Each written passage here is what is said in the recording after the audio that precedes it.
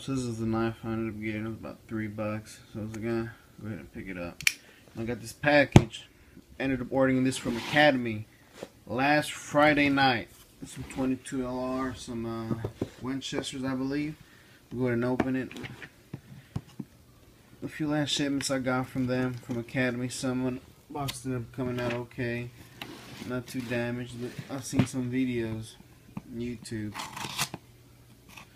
when they get their 22 ammo. It doesn't come out as perfect as they want it.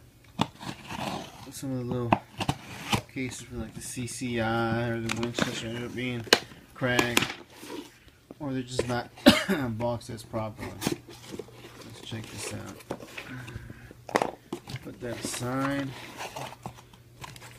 Let's see. You see and stuff there. Well, kind of packaged it pretty fucking. Not really good. Look at this, fucking paper.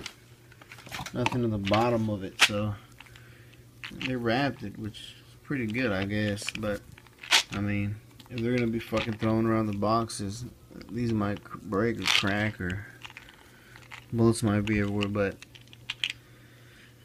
right now, it doesn't seem like nothing really bad happened to them.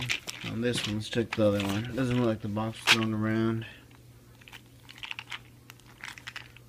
Out. I ended up buying four of them for $7.99. I ended up going to Academy, no, not Academy, I'm sorry, to Bass Pro Shop this past Sunday.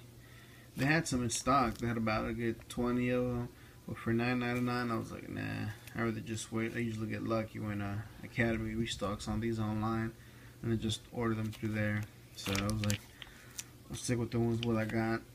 And as soon as they restock again, I'll go ahead and order some more. Here, let me go ahead and take these off of the wrap, and I'll be right back.